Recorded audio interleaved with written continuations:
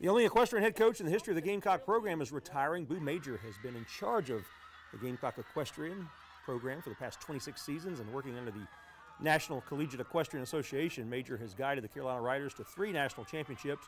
In fact, she became the first USC head coach to win three national titles. And in 2014, she became the first Gamecock head coach to win back to back SEC championships. She has certainly promoted the sport of equestrian.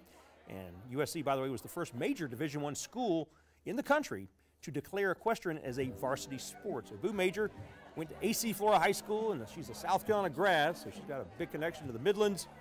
She's had quite the run at her alma mater, and she's now retiring, a well-deserved retirement for Boo Major after more than a quarter century as the Gamecocks equestrian head coach.